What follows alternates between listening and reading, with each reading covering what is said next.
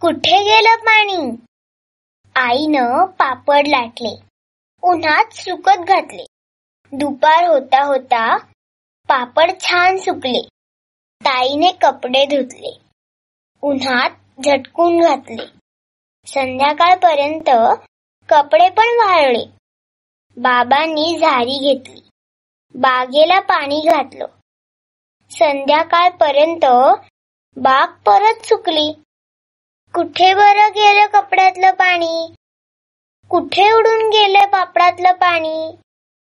कुठे नाहीस झालं बागेतलं पाणी? उन्हामुळे पाणी गरम गरम झालं. पाण्याची वाफ बनून हवेत मिसळून गेलं.